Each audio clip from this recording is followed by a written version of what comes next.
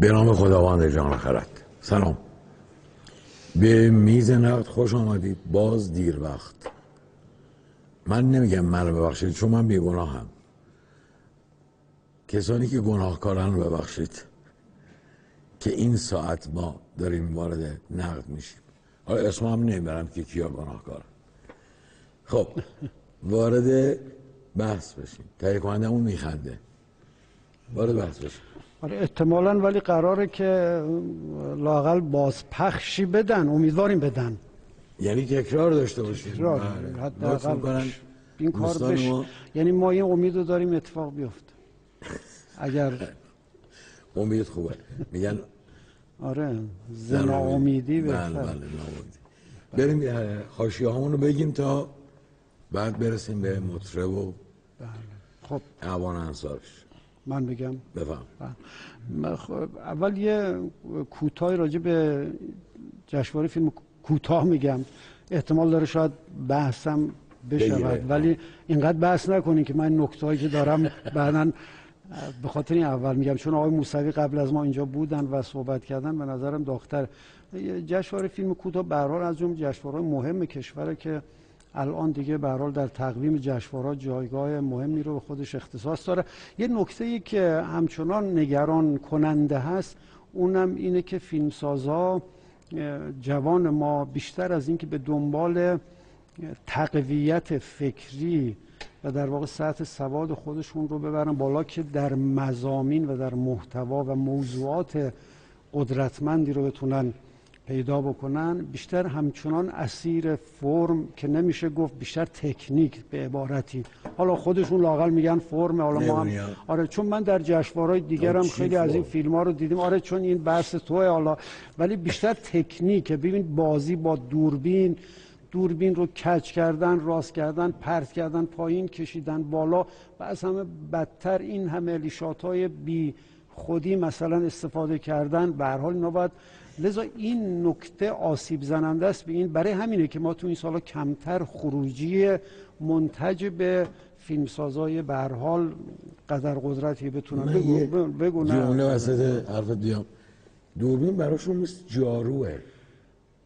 آره بعضی از این سریال چی؟ سازا از این کارا یعنی واقعا کردن دوربین تکونای بیموردش و حجمش و گهواره بازیش و اینا مثل جاروه نقش جارو داره تا نقش این که یه فضا بده کاراکتر رو جاشو آره. تعیین کنه آقای فراستی یه نکته دیگر حالا شما نمی‌دونم اینو چقدر قبول دارین کی به اینا یاد داده که فیلم کوتاه باید الزاما و متکی به یک شگفت زدگی پایان باید باشه. لزومی نداره داستان داشته باشه شخصیت داشته باشه کافیه یه ایده داشته باشه در پایان قافل گیر کننده باشه. این دیگه میشه فیلم کوتاه.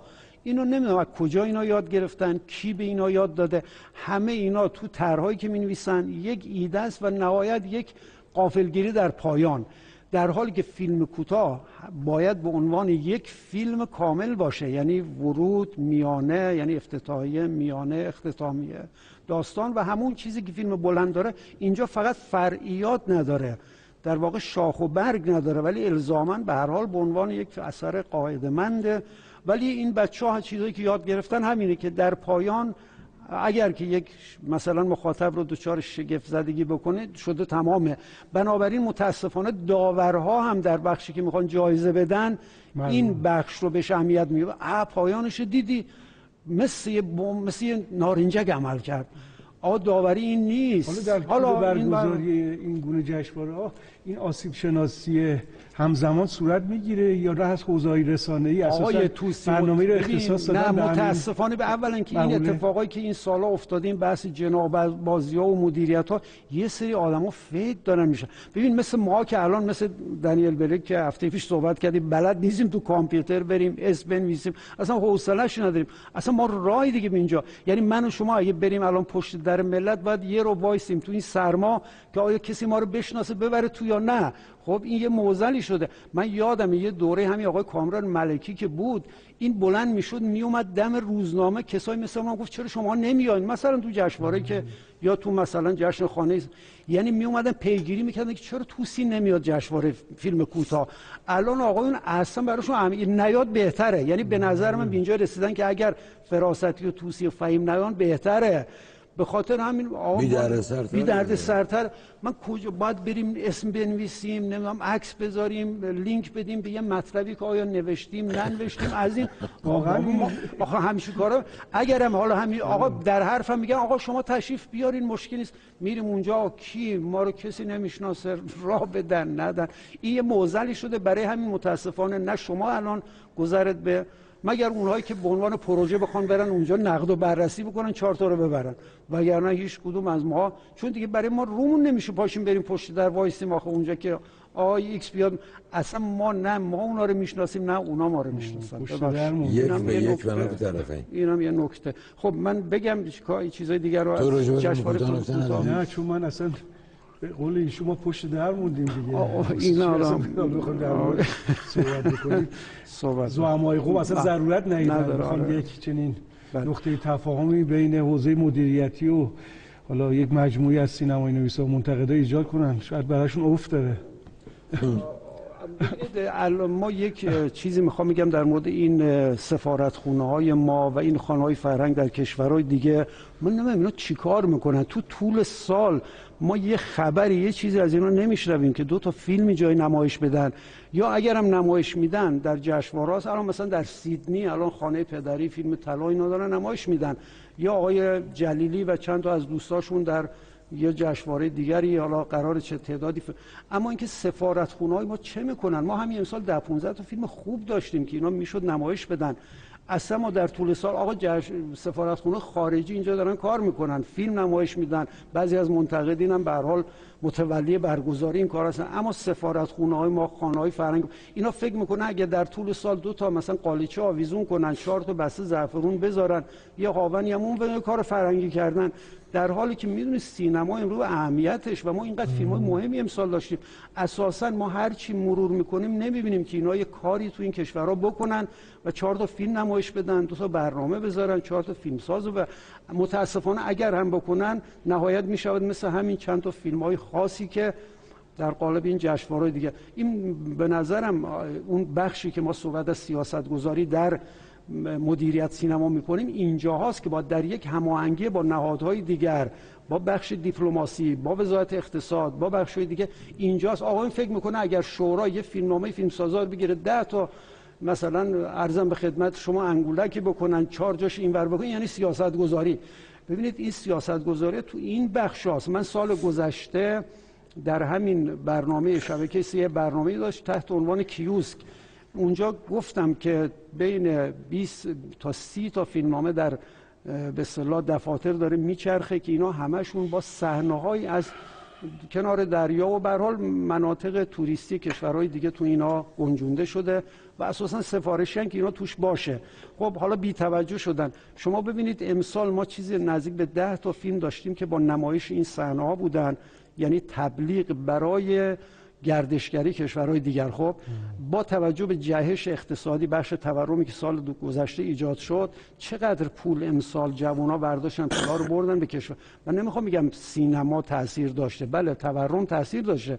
پول ما کم ارزش شده بخش پول اما سینما به عنوان یک مدیوم تاثیرگذار وقتی 7 تا فیلم با تبلیغ گردشگری کشورهای دیگه در یک سال نمایش داده بشه و از اونجایی که ما می‌دونیم مخاطبین سینمای ما قشر متوسط جامعه هستن و اینا مبالغ پول دارن که باش که نمی‌تونن برن کارخونه رب بزنن.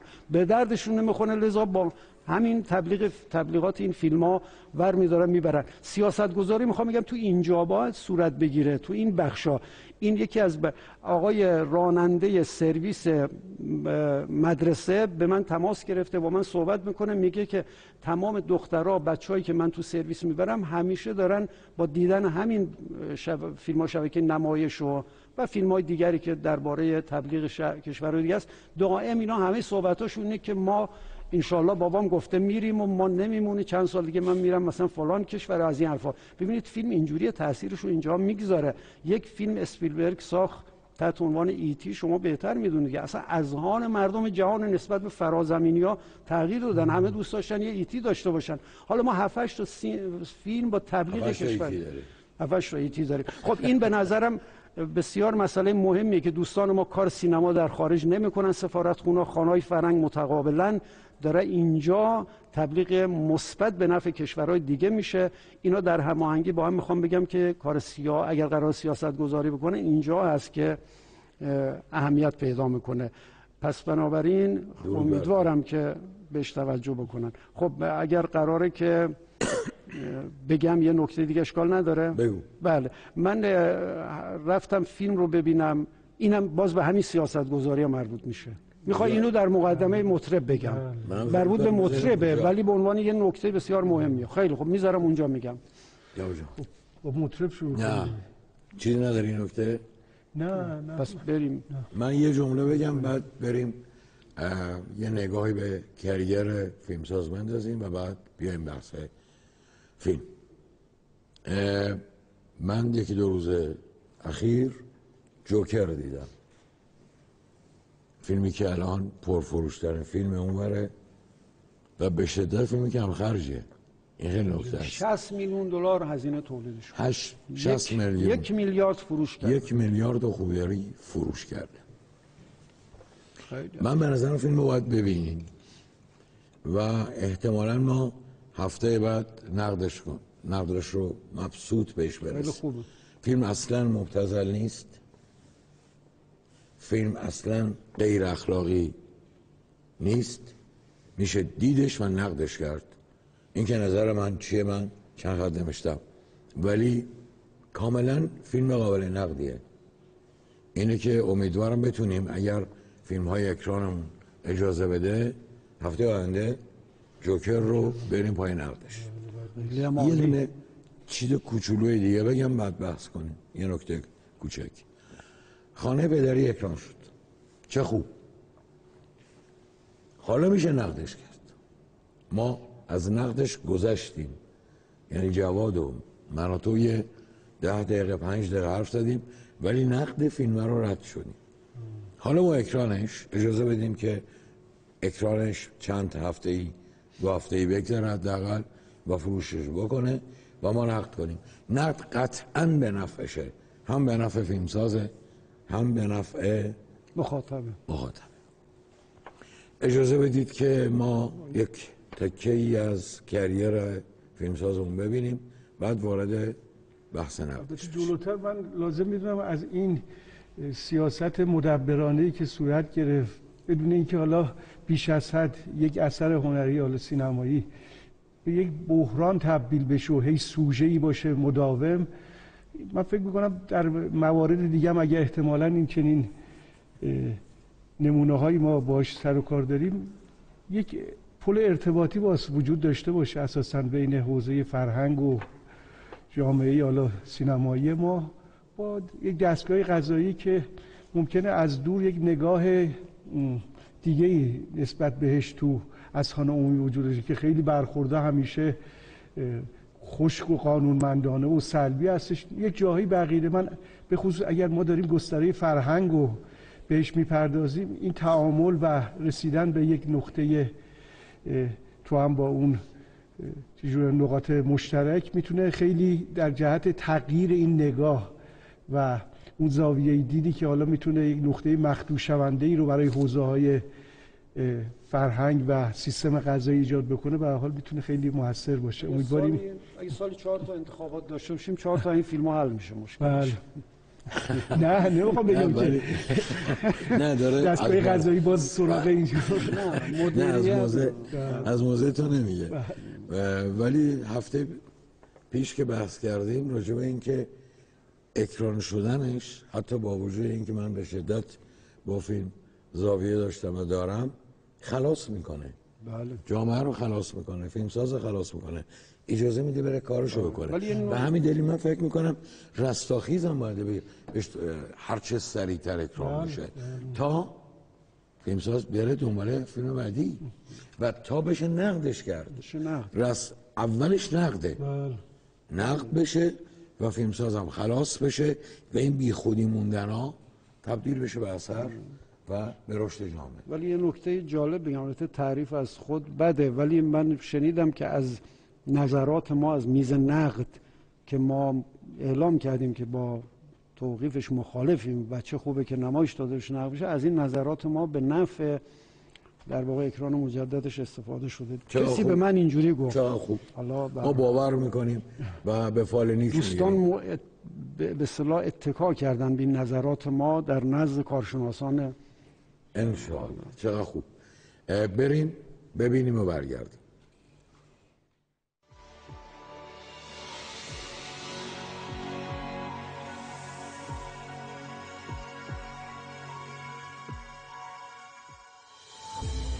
مصطفی کیایی متولد سال 1355 در شهر کرج است. او فعالیت هنری خود را از سال 1373 در مرکز آموزش فیلمسازی ارشاد آغاز کرد. از سال 1376 همزمان با تحصیل در رشته فیلمسازی در دانشگاه به عنوان دستیار کارگردان در مجموعه های تلویزیونی و سینمایی مشغول به کار شد. او پس از اتمام دوران تحصیل در سال 1381 به عنوان نویسنده، کارگردان و تدوینگر در برنامه های تلویزیونی فعالیت خود را ادامه داد. از جمله فیلم های وی می‌توان به چهار راه استانبول، بارکود، عصر یخبندان و خط ویژه اشاره کرد. فیلم سینمایی مطرب جدیدترین اثر این کارگردان است. ژانر فیلم مطرب کمدی است فیلمنامه این فیلم درباره یک خانواده ایرانی است که به نوعی وارد شهر استانبول می‌شوند و درباره یک خواننده کاباره است که پیش از اوج گرفتن با وقوع انقلاب 1357 همچون این طیف خواننده ها از صحنه کنار می‌روند اما چون به اندازه کافی از شهرت و اقبال نیز برخوردار نبوده نمی‌تواند خواننده لس آنجلسی شود و در نهایت به خواننده مراسم تبدیل می شود.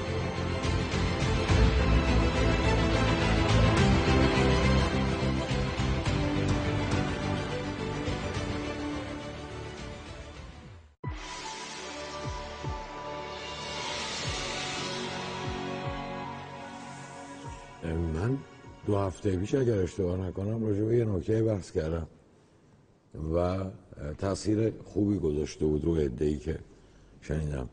راجع به فیلم ما قبل نقد. من واقعا برای این نظرم که مطرب ما قبل نقده. فیلم بدی نیست ما قبل بده. یعنی بد خیلی شرف داره به یه چیزی مثل مطرب. شما بگین من. فعلا سکوت کنم تو وقت مطرب بگو که کار جهان شد به کام ما. من همین می‌خوام مبنا قرار بدم درود بر تو. که یک فیلمسازی که لاقل تو یک جنس خاصی از فیلمسازی می‌تونست کارگردان موفقی باشه با همون کارهای اولیش مثل خط ویژه و ضد گلوله ضد حالا چی میشه که میاد یه چنین فیلمی می‌سازه و توجیه هم می‌کنه. من یک نقل قولی از خود آقای محسن کیایی رو خوندم تو روزنامه هفته صبح بسید که میگه اصلا قصد من ساخت فیلم پرفروش نبوده.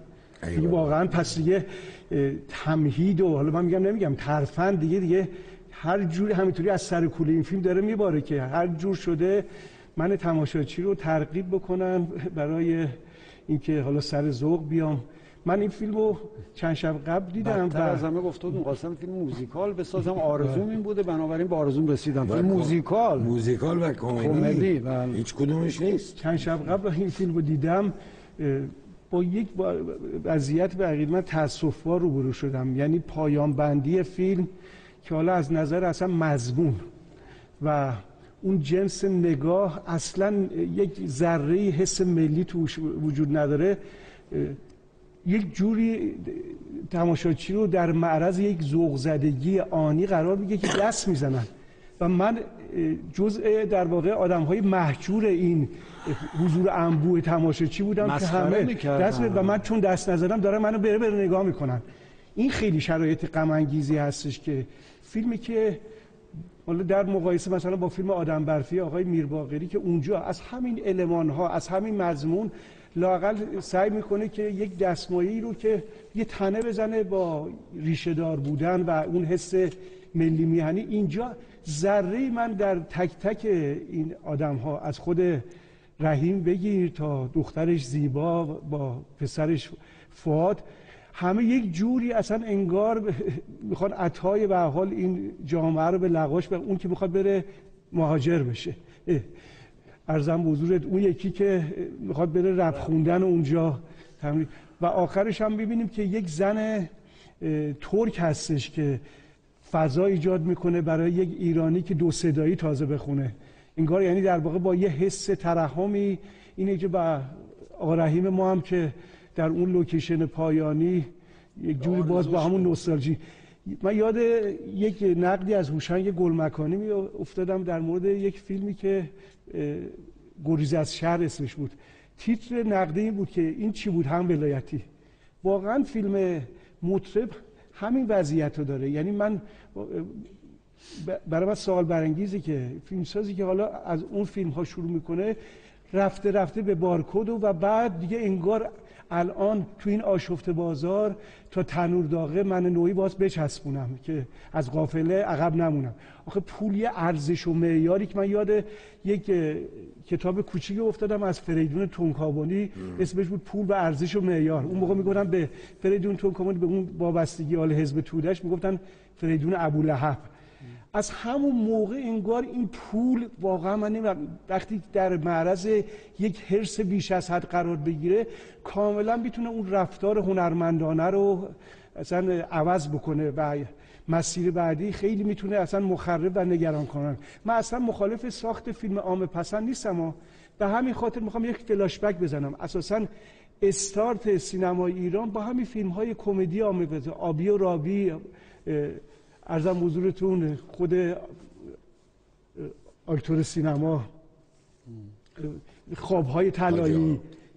همه اینها یک رگه هایی از کمدی دارن ولی بقیده من باز در اون دوران لاقل یک تعریف منطقی دارم می‌بینه تو دل فانتزی که حالا شاید اصلا خود اجرا و ساخت خیلی روبنایی و دم دستی باشه. همینطوری که جلو بیایم اساسا خود این تیپ های کمدی یک جایی امقلی سمد بود یک جایی نقللی بود یک جایی وحدت بود یک جایی مجید محسنی بود. ولی خود مجید محسنی مثلا وقتی که میاد یک فیلمی رو می‌سازه. باز آخر فیلم پرستوها به لانه برمیگردن داره این خاک رو پیشنهاد می‌کنه به پسری که اساسا هیچ نسبتی با اون ریشای ایرانی خوری و می‌خواد بره خارج از کشور. بخوام بگم در دل در واقع اون سینمایی که اصلا جدی هم نیستش هیچ چیزش ولی لاقل تو اون برد مضمونی به شکل خیلی متعصبانه خود کارگردان و فیلمنامه نویس رو حس وطن پرستی خودش یک جاهایی میاد سینه می‌زنه.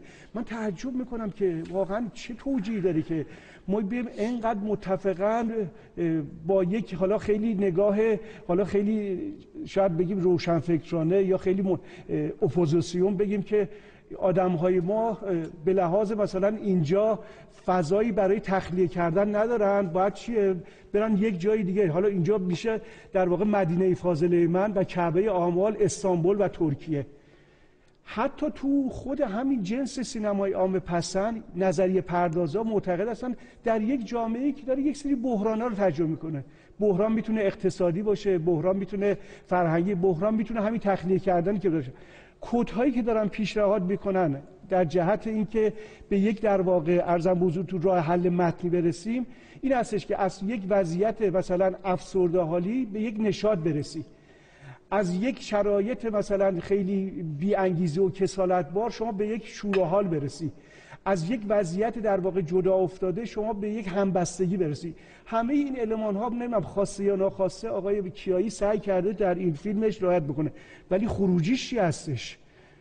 شما ببینید که نوستالژی که یادآور یک سری از خود تصنیف های آمیانه هستش که آدم یاد به قول معروف عباس قادری و جوادی اساری میفته حتی تو شمایی زاده شمایی اون که حالا بله دیگه حالا اون شمایی زاده که صراحتا داره ارجاع میده که ارجاع میده.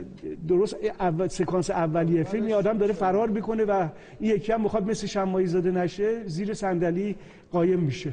یعنی همش داره یک جامعه بحران زدید می‌کنه که امثال آقا رحیم ما اصلا هیچ فرصتی برای ابراز وجود ندارن و اینجا به حال پس هیچ بلامانه هستش که من برم تو یک فضا و لاقل شما یک منطق پذیری رو ایجاد کن. باز من می‌خوام بگم صد رحمت به بابا نانداد و میرم بابا بخرم و اونا لاقل باز یک خانواده ای رو ما داریم می‌بینیم تو همین لوکیشن. یا سلطان قلب ها بله. همه اینا یه نسخه های ژنریکی هستش که در واقع فیلم مطرب ما همینطوری یه ناخونکایی می‌زنه ولی خانواده ای ما نمی‌بینیم. خانواده رفته اونجا در یک جدا افتادگی کامل داره دست به دامن یک زن ترکی میشه که حالا بماند که حتی من می‌خوام بگم که تو اون شکل در واقع شوخی های کلامی که از اون حالت اخلاق گرایی هم عدول بکنه که ما در واقع این سیر باز تاریخیش رو از فیلم بلگرد می‌بینیم که رقص کافهی مد میشه. یک دوره دیگه مثلا تو کارهای آقای وحدت هستش یک جایی سمت هستش این شوخی یه دوره آقای نصرت کریمی هستش که حالا از درشکچی که بقیه من باز می‌تونست یک فیلم قابل استناد تو حوزه سینمایی کمدی وام گرفته از نورالیسم باشه. می‌بینیم می‌رسه به تخت خواب سه نفره و محلل اروتیسم برای خودش باز در این جنس سینما یک تعریفی داره. ولی شما بیای موتیف سینمایی خودتو بگی پنجره و در ببند و گفتگو کن. آخه این یعنی چی آخه؟ این هی تکرار.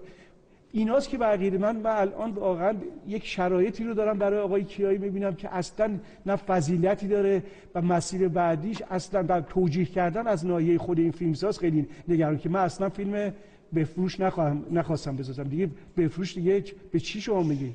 همه اون المان ها و جزئیات رو شما به عینه داری می‌بینی. پایان بندی فیلم شما حساب کن. داره هم می‌خواد ملودرام باشه خانم الناز شاکر دوست توی یک مدیوم کلوزاب داره گریه می‌کنه. پدر عزیزش اونجا رو خود سن داره اونجا چیز همه اینا یک جوری بقیده. من بهره برداری از تماشاچی هستش به سخیف ترین شکلش بله خب من اول می‌خواستم اونجا قبلش یه نکته بگم که چون مربوط به این فیلم بود از این شروع می‌کنم. من رفتم فیلم رو که ببینم بعد متاسفانه دیدم که از یک مدرسه دخترانه به شکل گروهی معلم ها این دخترها رو آورده بودن به تماشا این فیلم.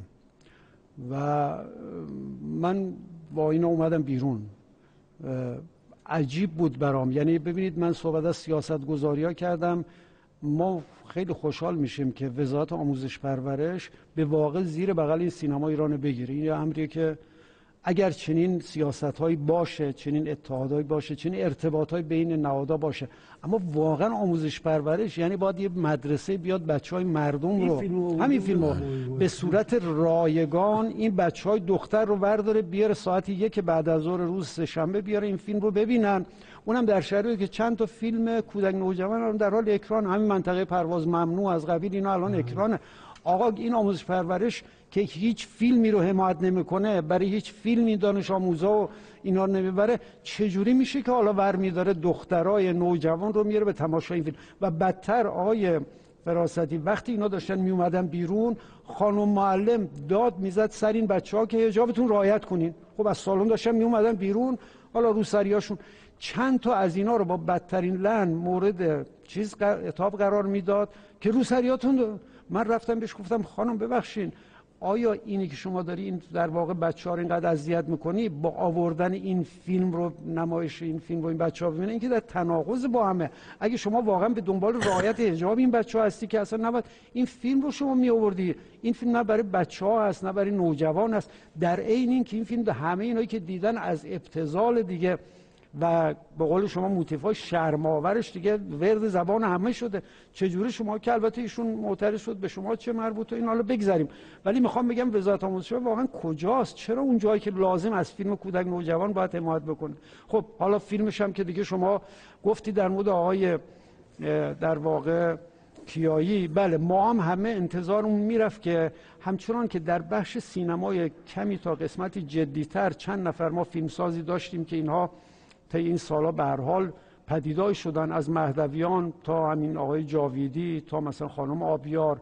این دیدیم فکر می‌کردیم که کیایی می‌تواند یک نمونه از سینمای که این روزا تحت بدنه یا به قول ما سرگرم کننده باشه و آثار سالمی رو ایشون بتونه بسازه چون جوان هم است لاقل چین انتظاری می‌رفت. اما متاسفانه تو این فیلم نه از فیلم قبلش هم تقریبا نشانه های این وجود داشت که نه نمی‌شود به ایشون امید داشت. که فیلم هایی بسازه که ماها همه به دنبال اونیم. یعنی یک سینمای سرگرم کننده سالم که در لایه های دیگرش لاقل بتواند در خدمت فرهنگ و خانواده و ارزش های این جامعه باشه. این فیلم حتی پایین تر از فیلم فارسی هست همونجور گفتیم به نظرم اگرچه شالودش همونا هست اما به لحاظ اجرا به لحاظ حتی بازی ها خیلی پایین تره من فکر می‌کنم تنها کیایی مقصر نیست اینجا. ببینید آقای توسی جریان سرمایهداری حرامخوار فرقی نمی‌کنه. چه زمان شاه چه تو آمریکا چه الان به دنبال یعنی کسی که به دنبال سود حرام باشه پول حرام باشه و این بورژوازی به هر حال که مدعی هستش که بورژوازی لومپنه. لومپن. بله ببینید اینا فرقی براش نمی‌کنه. یعنی براش شما میگی پول بله واقعا همه چی براش پوله.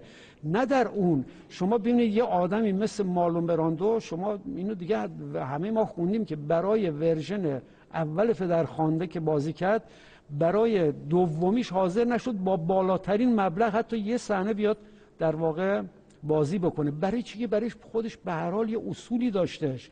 اما امروز بازیگر ما که همه ماها می‌دونیم که با چه فیلمایی توانسته قلب و دل و روح مردم رو ببره امروز در واقع آمده اینجا تو این فیلم چیکار داره می‌کنه؟ با روح و روان مردم کار دیگری داره می‌کنه. قبلا هم کرده. ببینید اینجا دیگه اوج سقوطه. من فکر لس آنجلس تهران. بله. ببینید بدیش اینه که اینا جماعت مدعی هم هستن. چند تا بعضیاشون هم ادعای روشنفکری دارن مثل لس آنجلس تهران و اینجا هم تا حدودی بعضی از این دوستان. این ادعاها بدتر از هم هست یک جور فریب است. من می‌خوام بگم که این فیلم که اساسا نقد فرمی و ساختاری که نداره چون هیچ چیش به هیچی نمیاد. شما ببینید حتی همین همین ببخشید این کلمه رو می‌خوام استفاده کنم. همین آشغالی که الان ساخته شده نمی‌دونم بعد گفتم آشغال نمی‌دونم. حالا ببین همین که ساخته شده هم کپیه باز. همین هم حاصل اندیشه خود آقای کیایی نیست. فیلم دولمایت اسم من است. احتمالا دیدین یا شنیدین یا هر دوتا که ادی مورفی هم بازی کرده. آره ادی مورفی. ببینید هم درون مایه هم داستان اصلی حتی پستر شما اگر کاش اینجا دو تا پسترها بود الان اینجا نشون می‌دادن به مردم. دو تا پستر عین همه ایستادن آقای پرستویی که پاش اینجوری اینور گرفته با ادی مورفی عین همه. حتی اینجوری در واقع به لحاظ رنگامیزی خطوطی که رو پستر کار کردن دقیقا صد درصد شما ببینید حتی همین رو هم کپی کرده باز همین مال خودش نیست. آخر فیلم آقای یعنی ابراهیم شما... میاد ایشون رو از حالت کما بیرون میاره که آقا شما میره رو سن. شما حساب کن ببینید. هیچ که تو هیچ کشور این کار نمی‌کنه که چند تا آدم بلندشن برن یک کشور دیگه وطن خودشون اینجوری معرفی کنن. یعنی همه این گروهی که از اینجا پا میشن میرن ترکیه همشون به یه انهای مختلف فاسدن. آقا ناجی ما اون خانومه است. ناجی اینا اون دخترش که در واقع قرار اینجا به عنوان یک نسل مثلا آینده ما باشه نسل آرمانی باشه فریبکار دزدی سازماندهی می‌کنه آرزوش مهاجرت. خود این پیرمردی که تو این سن و سال الان به اصطلاح می‌خواد ما رو ببره به سمتی که باید به فکر وطنت باشی از همه وطن فروشتر تو فیلم در واقع. یعنی می‌خوام بگم خود گروه اساسا بعد یه آدم از همون اولی که ببینید اینا همه تحریفن. درسته ما منکری نیستیم که یه آدمی بلند میشه میره اونجا مشروب می‌خوره. حتما ایرانی های زیادی هستن که مشروب می‌خورن. اما شما وقتی یه فیلم داری می‌سازی به عنوان یک نمونه از ایرانیا داری می‌بره اونجا همین که وارد اون کشور میشه با یه چمدون مشروب داری اینو نشونش میدی و انگار مثلا به یه بهشت موعودی رسیده و بعد این متنبه نمیشه. ببینید درام در تمام درام های دنیا و آن چیزی که در تاریخ درام ما خوندیم اساسا بدمنها یا جبهه شر باید متنبه بشه متحول بشه. اما اینجا این اتفاق نمیفته اب نداره ما یه مشروب خار یه مست یه منحرف یه روسبی یه هر چیزی رو به تصویر بکشیم. مهم اینه که سیر درام به سمتی باشه که متحول بشه. اساسا اینا وجود نداره. چهار تا داستانک فرعی مزمحل تکراری کلیشه‌ای اصلا مندرس داره که همونا رو به سرانجام نمیرسونه واقعا. یعنی اون دختر صحبت از مهاجرت می‌کنه بعد اصلا ولش می‌کنه رهاش می‌کنه. می‌خوام بگم به واقع در بخش مضمون هر حرفی که ما الان باید بزنیم در بخش محتوا این فیلم باید بزنیم چون خودش اومده در محتوا گزینشای کرده کپیای کرده و امروز تحویل مردم داده. در نهایت می‌خوام می‌خوام بگم یک business حرام خوارانه است به نظر من. چه سرمایه گذاری که پشت فیلم هست چه دوستانی که وارد چنین پروژه‌ای می‌شوند بدون اینکه به ارزش‌های فرهنگی این کشور فکر کنن خودشون رو ملعبه چنین پروژه هایی می‌کنن و به دام یک business حالا ممکنه آقای فهیم الان بگن که ما سه نفر اینجا دشمن خونی سینمای آقا من تیترا رو امروز مرور می‌کردم. اساسا شما یک مطلب مخاطب هستی فیلمی که داره میفروشه. شما چتونه دیگه اینقدر در صورتی که واقعا اصلا شما نمی‌تونی پیدا کنی. اصلا بحث ما نیست. آقا شما رسانه ها رو تمام نقدار الان بریم مرور کنی. حتی کسانی که به ایشون التفات دادن. بعضیا که نسبت به آقای پرستویی بسیار به اصطلاح احترام آمیز تا حال کنون برخورد می‌کردن.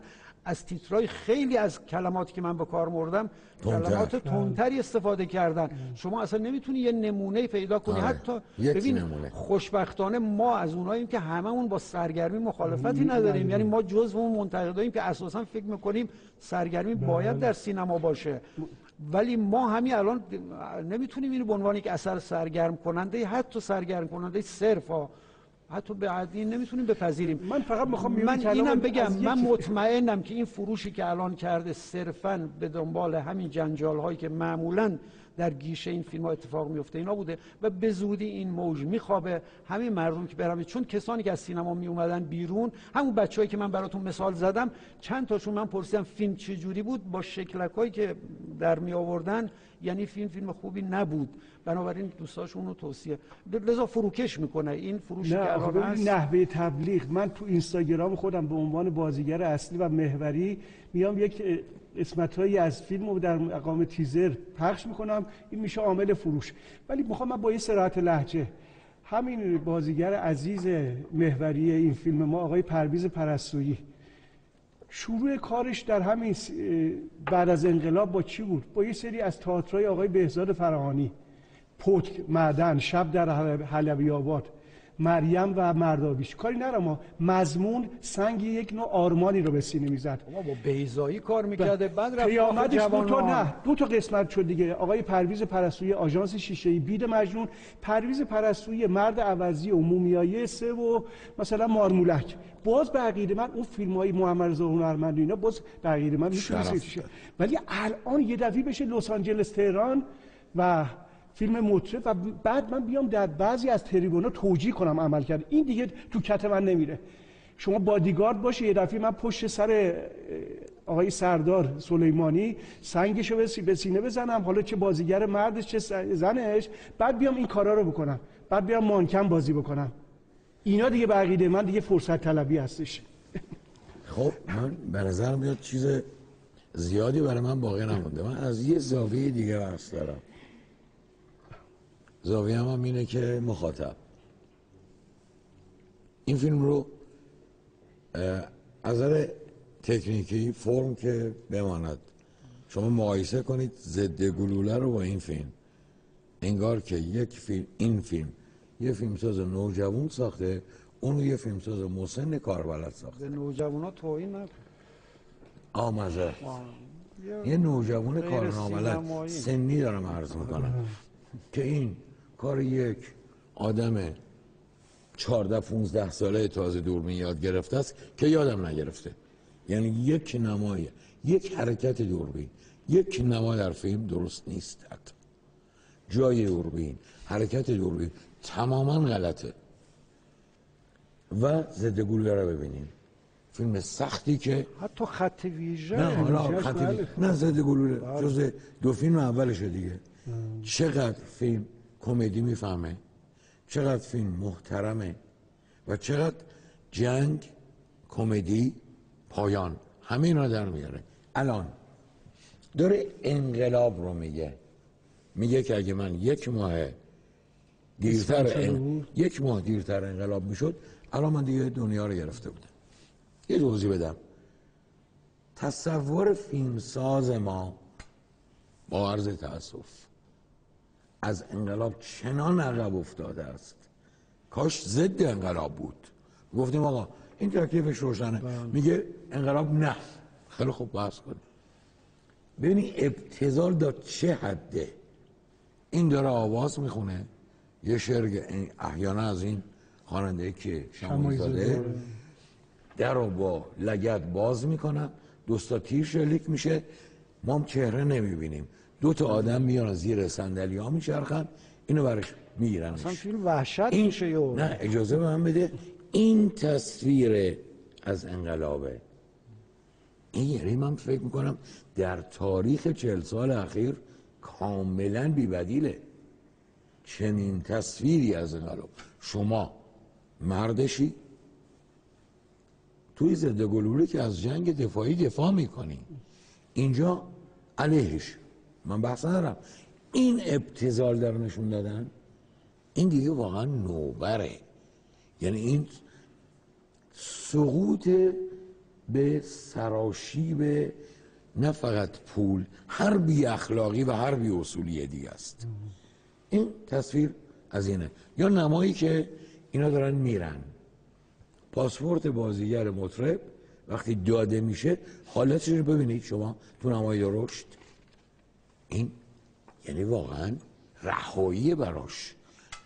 و این آدم چرا اصلا ساخته نمیشه؟ همین نکته. همه یه فیلم خراب. یه مطرب بساز ای مردشی. یه مطرب. یه مطربی که بیسش قبل از انقلابه اما مطرب بازاری خونه مردم پسنده. اونم که بلد نیستی بسازی. یعنی می‌خوام بگم که چیزی که جواب به درستی از اول گفت فکر و ذکر پول بیکار پول آلوده و پول مزمحل کننده است. پول وقتی از تولید رد نشه همین میشه. پول دلالی تبلیغ دلالی میاره با خودش و تبلیغ اینجور رفتن از وطن میاره. این به نظر من یه طرف فیلمساز و کسایی که باش کار کردن با بدترین نوع بازی یه چیز دیگر هم به ما میگه. چی رو داره مطرب ترویج می‌کنه؟ کجا ایستاده؟ فیلم فارسی جلوی مخاطبش ایستاده بود و اوتوپیای اون مخاطب بود. فیلم فارسی بعد از انقلابی که مطرب به نظرم جزو صدراشه پشت مخاطبه. ابدا داره از آخرین قشر مخاطب داره حرفای دست دوم اونا رو غرغره می‌کنه. هیچ اوتوپیایی براش نداره. یعنی فرق بین فیلم فارسیه قبل و بعد از انقلاب در جلوی مخاطب و پشت مخاطب بودن اینه. دو توی فیلم فارسی حتی متوسط و ضعیف و بد. این چه اخلاقیاتی همچنان حضور داره. که اینجا مطلقا دیگه حضور نداره. من الان بحثم تو همین چند دقیقه باقی مونده. بحث مخاطبه. کی مخاطب این فیلمه؟ دو روز اول شنیدم رقم بالایی فروش چند میلیارد؟ دو سه میلیارد. الان بالای چهار تومن رفته ولی اولش آره دو سه روز اول با ترفندایی که متاسفانه دوستان سینمایی ما یا هر کسی که و بحث سانسور همه اینا کمک می‌کنه به این بازیه. مخاطب فیلم به نظر من طبقه متوسط دست در کار تولید نداشت ندار و کاملا از فرهنگی لومپن مخاطب فیلم لومپن هایی هستند که ویژگی های لومپن به معنی کلاسیکشون ندارن. لومپن طبقه متوسطی هستند که از لومپن بورژوازی ارتزاق فرهنگی می‌کنن. و مدینه فاضلشون همینه که این لغت درست بود همین آشغال نشون داره میده. البته بخشی از مخاطبین یه نظر بدم کوتاه بخشی از مخاطبین تو این روزا چون به دنبال فضای شادن فریب می‌خورن. یعنی یعنی ولی در کلیتش لومپنیزم حاکمه من قبول دارم. به نظرم این نیست دیگه آره. ولی مثلا این دست های پیاپی در طول فیلم بقیده. من نیاز من به یک بررسی کامل جامعه شناسا داره من فهم جامعه ما الان در چه موقعیتی به سر می‌بره که تماشاچی عامش به چنین سلیقه‌ای رسیده. من اتفاقا بحث اصلیم همینه. مخاطب فیلم فارسی بعض انقلاب کیه کیه در چه حدی از میزان فرهنگ کار تولیدی و سهم در جامعه در تولید نعم مادی و معنوی جامعه دارن؟ اگر تا دیروز اون حرف شما دوتا رو می‌زدیم که مخاطب خسته است فلانه میره که بخنده و, با و فریب می‌خوره. الان این نیست. الان متاسفانه مخاطب آگاهانه دنبال دهنکجی میگرده. و کدوم مخاطبه این؟ مسلما کارگران نیستن. مسلما مسلما زحمتکشان روی زمین یعنی دهقانان نیستن. مسلما ورژوهای لومپن که خودشون هم چیدن نیستن. چون اونها یه تفریحات دیگه ای دارن. خورده بورژوازی بله، شهری کاملا خارج از تولید. که هیچ اصول اخلاقی هم براش نمونده. این بخش ناچیزی از این خورده بورژوازی شهری است که مخاطب این فیلمه و در واقع فیلم عقب این داره راه میره. این مخاطب این مخاطب تو یه سینما براش دست می‌زدن. من چک کردم. و اون موقع هم که خودم فیلم ابدا اینطور نبود. آره منم من دو بار من رفتم سینما. اصلا نمی‌تونست. از مخاطب خنده بگیره. نه, نه مخاطب راضی از فیلم برمیگشت. اون یه فیلمی که اون یه سینمای تو اصلا مستاق قضیه نیست. اما مخاطب آماده فریب خوردن فرهنگی به بدترین شکل ابتزالشه این مخاطب باید بهش گفت. یعنی این نیست که همیشه مخاطب حق ابدا اینطور نیست. این مخاطب از فرهنگی کاملا مزمحل شده که میره اینا رو می‌بینه میاد. من حتی راجع یکی از این فیلم هایی که به شدت به نظرم بده از آدمی که پرسیدم گفتم تو با همسرت رفتی فیلم رو دیدی؟ هزار رو که به نظرم تو درجه شوخی های کثیف جنسی جز مقامات اول این سری است گفت آره دو بارم رفتم. این یعنی چی؟ این تحلیل می‌خواد. یعنی رابطه رابطه شوهر و همسرش و خجالت نکشیدن از این میزان شوخی کثیف جنسی این یعنی اینکه این قش از طبقه متوسط ما در حال ازمهلال فرهنگیه و هیچ اصولی براش باقی نمونده. جاش در تولید ملی به صفر تنزل پیدا کرده. هیچ کاری نمی‌کنه. و جاش تو فرهنگ هم در همین حده. یعنی می‌خوام بگم که من الان دعوام با کیایی نیست. نه بله دعوام با مخاطبه. دعوام با مخاطباییه که اجازه میدن لحظه به لحظه مبتزل ترین محصولات فرهنگی به اصطلاح تو خونهشون ورود پیدا کنه میرن می‌بینن بعدیش هم داریم ما دیگه. مانکن رو می‌خوایم اگر برسیم راجبش حرف بزنیم.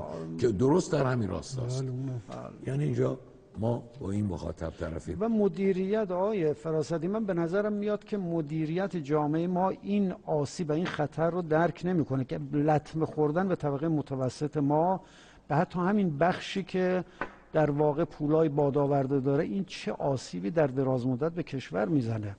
یعنی من فکر می‌کنم اصلا بحث کیایی به قول شما نیست. بحث مدیریتی است که این فضا یعنی این سلیقه رو رسونده به اینجا. مردم همواره به هر حال بی تقصیرن در کلیتشون. بله به صورت فردی شما می‌تونید اونا رو خطاب قرار بدیم ما هم همینجور. به هر حال از مخاطب انتظاراتی داریم که بتونه درک بکنه موقعیت خودش و ارزش های خانوادگی خودش رو متناسب با اون کالای فرنگیش رو انتخاب بکنه. اما این نمی‌تونه در واقع یک نسخه علمی باشه به نظرم. مدیریت رو نباید این وسط نادیده گرفت. آن, آن کسانی که این سالها از همین مردم دستمزد گرفتن حقوق گرفتن و میبایست در واقع شرایط دیگری رو یه نکته است آقای فهیم. ببینید مخاطبی که الان ما داریم روش بحث می‌کنیم به قدر کافی به دلایل مختلف در کانون این هویت باختگی قرار گرفته.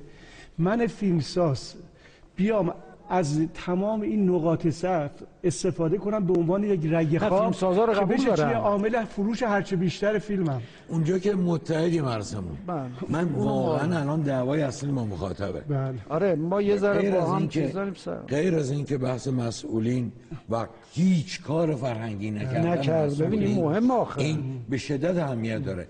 اما مخاطب مخاطب مسئول فرهنگی هم کاری نکنه بله. خودت شخصیت داری. بله خودت خانواده داری. خودت خودت وطن داری. خودت حد داری. حد چی داری؟ حد اخلاقی داری. خودت یه حد اقل مرام داری. هیچ کدوم اینا نیست این مخاطب.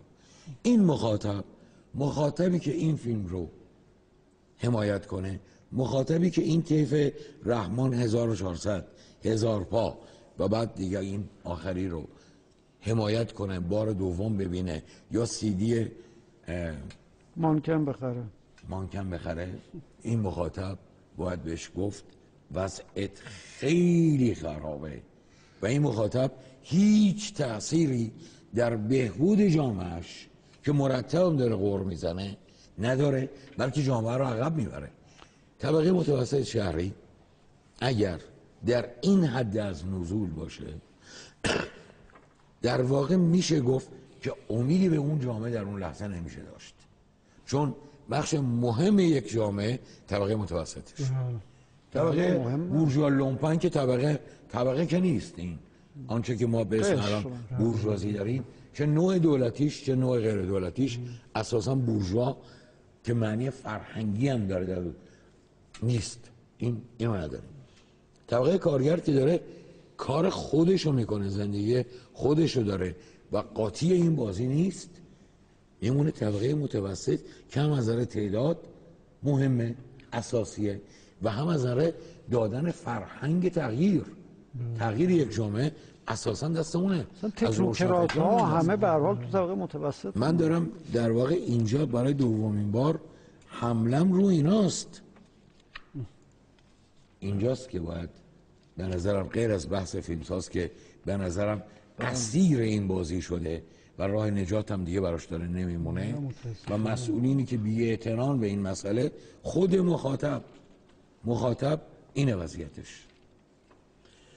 ما زیاد وقت نداریم برای مانکن. چقدر وقت مونده برامون؟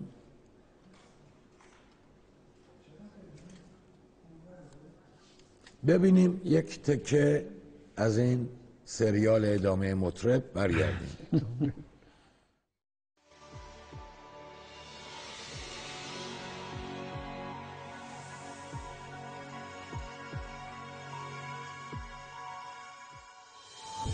حسین سهیلی زاده در سال 1343 در اهواز متولد شد.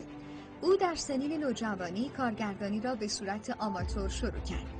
پس از اتمام دوران متوسطه تحصیلاتش را در رشته علوم اجتماعی تا مقطع لیسانس ادامه داد و بالاخره پس از سختی بسیار در سال 1369 با فیلم سفر جادویی به کارگردانی ابوالحسن داوودی به عنوان دستیار کارگردان وارد سینما شد. از سال 1386 با ساخت ترانه مادری وارد عرصه سریال های شبانه شد و توانست با استفاده از داستانی جذاب و انتخاب درست بازیگران درصد بالایی از رضایت مردم را برای سریال خود جذب کند. همکنون حسین سوئیلی زاده از کارگردانان پرکار تلویزیون است. یکی از دلایل پرکاری او شناختی است که بعد از سالها کار در تلویزیون نسبت به مخاطب پیدا کرده و می‌داند چگونه باید داستانها را تصویری کند تا به دل مردم بنشیند. سریال مانکن جدیدترین اثر این کارگردان در شبکه نمایش خانگی است که تهیه کنندگی آن را ایرج محمدی بر عهده دارد. سریال مانکن یک ملودرام اجتماعی است و به نابرابری های عمیق اقتصادی می‌پردازد و در آن بازیگرانی مثل مریلا زارعی، محمد رضا فروتن، امیر حسین آرمان، نازنین بیاتی و غیره به ایفای نقش پرداختند.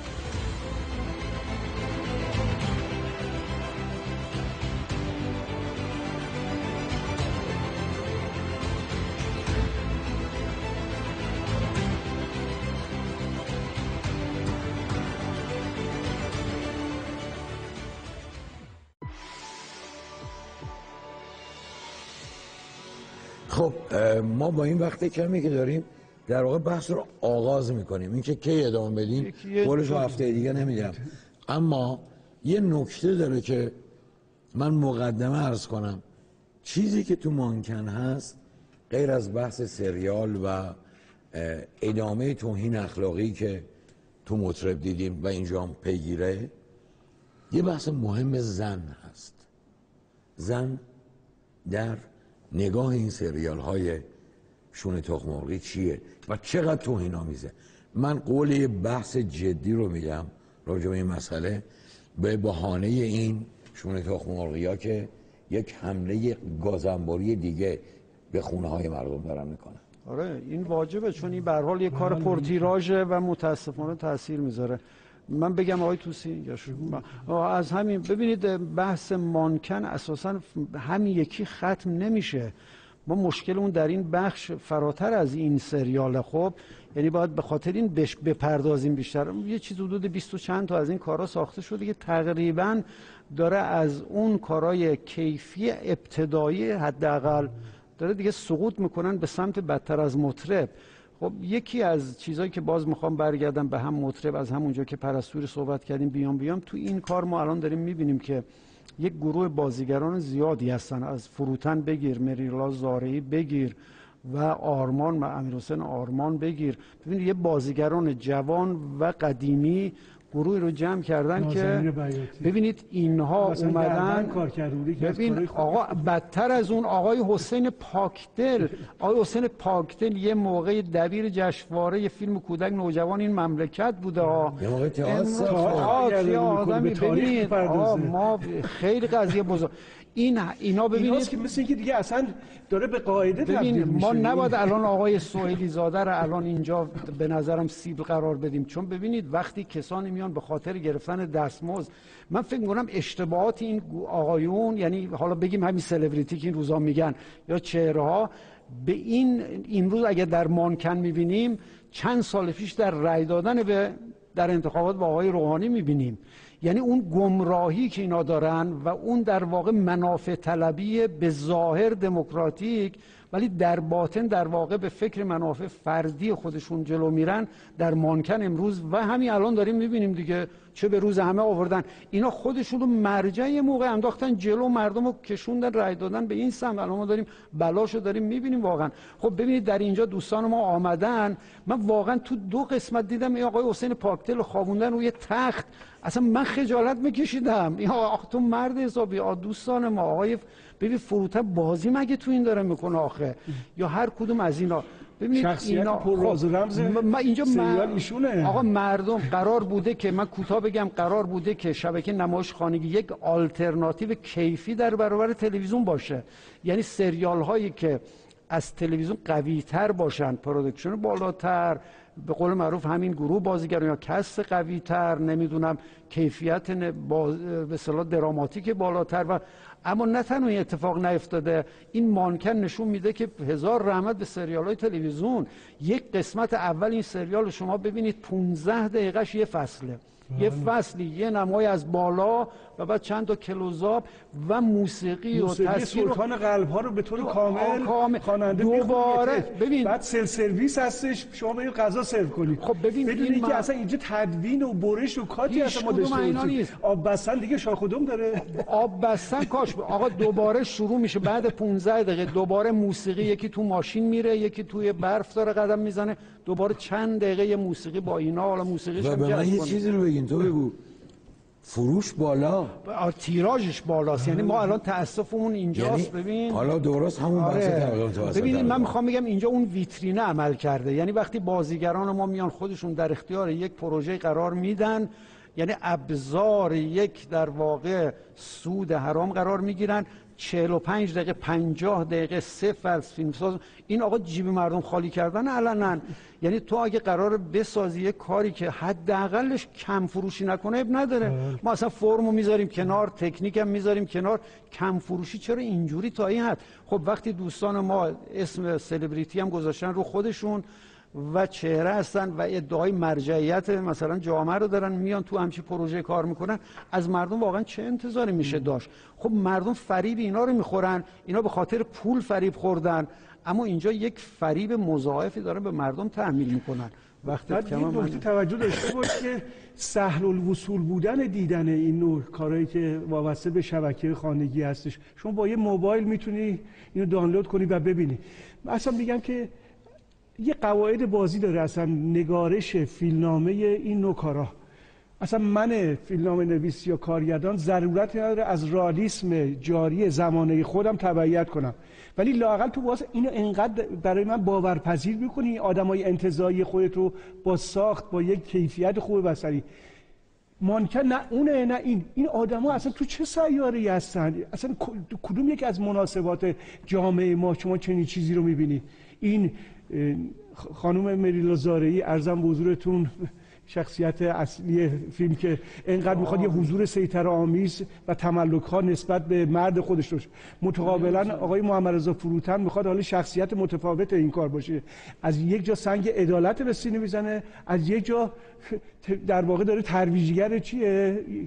مسئله اصلا پاشیدگی خانواده و تن فروشی و این چیزا. آخه آدم خود... اصلا تو این سریال دو تا آدم خودفروش هست. یه مرد یه زن بله. که به عبارت خودشون میفروشن به جنس مقابل برای مثلا پول. خب شما این رو اساسا تو جامعه ما با این شمایل با این ریخ نمی‌بینید ببین فیلم های ترکیه‌ای دوستان وقتی چرا؟ اونجا نرو جلو. کاملا از اون اومده. و, و فیلمساز سمپاتی بهشون سمپاتی به همونو می‌خوام بگم. یعنی خود موسیقی اصلا با همون سریال جم اصلا هیچ آره. دو تا آدم ارجاعاتی داره شما بهش سمپاتی یعنی ما رو در واقع سعی می‌کنه تا به اونا علاقمند بکنه. این اون نقطه پاشنه آشیر خطرناک این کاراست یعنی ما رو علاقمند به نمونه هایی می‌کنه از آدم. که اساسا منحتن. اینجا جای مسئله دیگه ببینید وقتی قرار ترکیه و همین کارهای بیرونی رو بردارن آقایون اینجوری یه مجبوری میشه این. بعد آنارشیستشو آقای فرزاد فرزین. حد آره. آنار ببینید همه کاری می‌کنه که من نمی‌دونم واقعا این بیمار هیچ همشون نوعی بیمارن بلند میشه میره از رو کاپوت بخو یه زمانی تو آژانس شیشه خب اون در واقع یه آنارشیسم معترضانه اجتماعی. این این چی هر جا ببینیم ریاکشناس یه جوری با همه پرخاشگره اصلا این آدم تو جامعه هم رها است و رفیق جونجونی یکی از شخصیت های اصلی ما است یعنی کدایی که داریم میده واقعا اگه بخوای تو برفض این آدم رو یه آسیب شناسی روانشناسانه هم بکنی که ولش کردی به امان هر گونه ترکتازی داره می‌کنه. یعنی می‌خوام بگم خروجی در واقع این تیپ شخصیت پردازی ها در واقع چه چیزی رو در معرض دید من بیننده قرار میده؟ یک جامعه کاملا اصلا بیماری که هر کسی داره جولون خودش میده. اون تو حوزه لاکچری خودش داره در واقع ترویجگر این قضیه هستش که تو اون شبگردی ها و شب زنده که همش را به را در واقع حالا ترجیبنده شخصیت خانم مریزاری که امشب ما چیه؟ مهمون داریم. و باید حالا این مجلس مهمون را انداختن اصلا اروتیک که خیلی کثیف بدیه.